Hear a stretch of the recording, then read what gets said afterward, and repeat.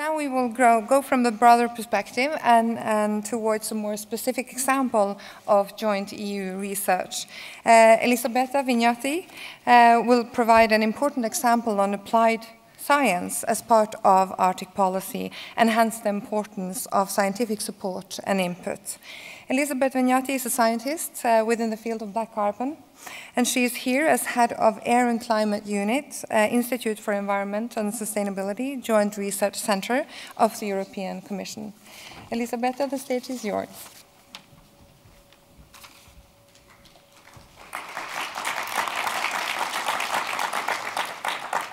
So, thank you, ladies and gentlemen. It, it's really an honor being here and having the possibility to explain or share with you which is the, the, the, scientific support that we are doing in the Commission, the direct scientific support to the policy of the EU.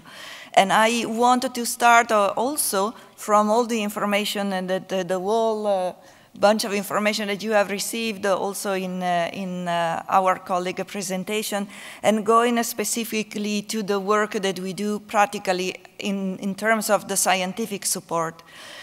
I work uh, at the Joint Research Center. We are uh, at DG, uh, the uh, Directorate General of the European Commission, and particularly is a, a, peculiar Directorate General because it's not one of the, the Directorate General that uh, writes or work on the policies, but we are the one inside of the Commission that uh, can provide the scientific and technical support to that.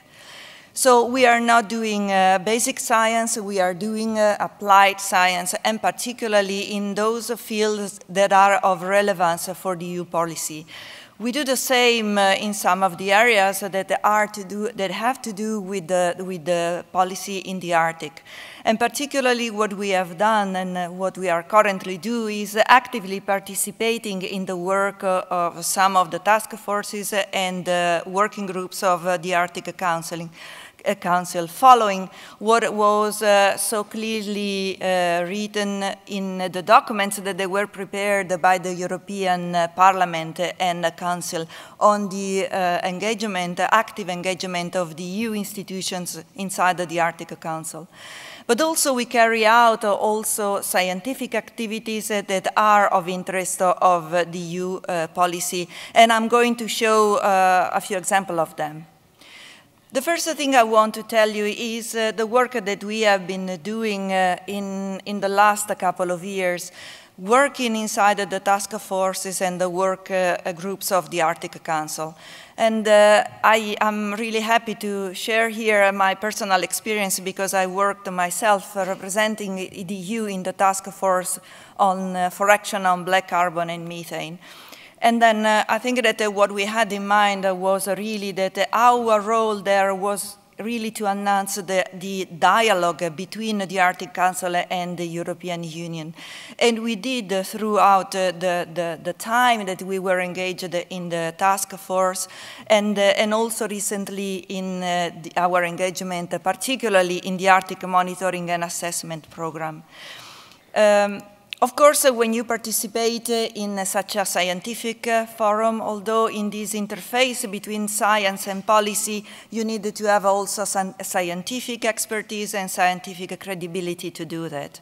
So we have scientific projects, we have developing expertise in some of the fields for quite some years now. And we are covering um, field, fields going from climate change, marine and maritime issues, uh, energy, and the environment also. I want to start uh, showing what is uh, the work that is uh, mostly related also to the work done uh, inside, uh, and uh, that has to do with the black carbon, in particularly the short-lived climate forcers, which are also one of the issues that are of importance and under this U.S. chairmanship of the Arctic Council. Particularly, we are looking at the, the links between the melting of the ice and also the atmospheric processes that are happening, try to reconstruct the processes that are giving rise to such a tremendous uh, increase of temperature that we see. We also look at the interaction also with those uh, short-lived climate forcers, particularly the black carbon, and try to understand how this is really related with this pattern in the transport and also with the ice uh, melting. Starting from uh, uh, studies that has been done also in the past, uh, also by all the international community, we recognize also the importance of the effect of the climate change on the vegetation and the ecosystem uh, in, in the Arctic regions. And is clearly seen that, that there is a, quite an increase of the vegetation and also a change of the vegetation due to the increase of the temperature.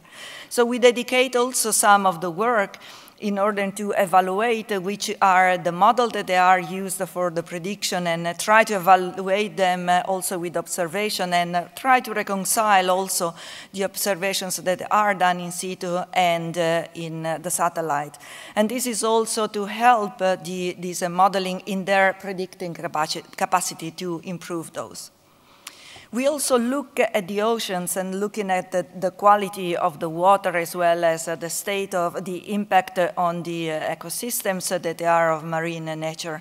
And we look, uh, for instance, of uh, the fingerprint of uh, the the rivers going out and outflowing also the organic map, mass, matter that we see in this picture, as well as the, the, amount of, of phytoplankton that is present. Not only we evaluate also in the Arctic, what is the primary production, which is also an important matter. But uh, we believe that all this is very useful when you make a, an assessment of the state of the biodiversity in uh, the sea as well, and also to try to uh, evaluate the impact on the ecosystems. Uh, we heard many times during these days that there is really a need. There are a lot of information and data outside that the need somewhat, some, somehow to be also gathered together and made them available.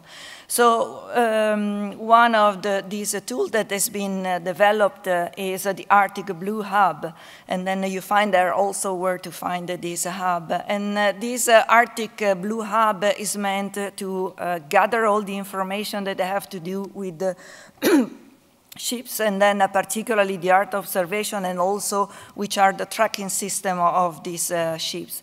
In this way, not only we know what is happening, but it's really the, the way to be able to produce also a policy that makes also sense. And it also a place where all this information can be really gathered together.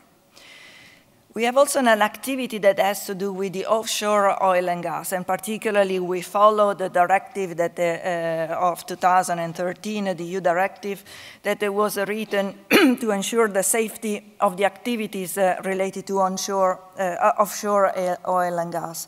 And also in this directive, there are also some uh, uh, actions to be taken in case of if an accident is happening. And then uh, we support the European Union because the European Union is uh, also working together with the authorities of the member states in this European Union uh, uh, offshore oil and gas uh, authorities group. And then we are supporting from the secretarial, technical secretarial point of view this. This is a quite important work and the European Union is also quite uh, strongly involved in international collaboration also to make uh, those standards very high. And at the end, a bit of our work looking into the future, we have a small amount of our research that is dedicated really to look into an exploratory field. One of the things also we have seen is that uh, it is important that uh, we have renewable energy at our disposal. But one of the characteristics of this renewable energy is that the fact that you have not constantly this energy when uh, it is necessary. It is an intermittent production. You would like to have somewhere else where the energy is produced uh, in another place. So we have launched a, a project which is really an exploratory project in which we look uh, practically to try to analyze and identify which are the challenges that are related really to the both the making up, so the engineering point of view and the geopolitical point of view of the possibility to put a grid uh, crossing a, a link in Europe and North America where this energy is really uh, transmitted and then of course uh, crosses the Arctic. And with this, I thank for your attention.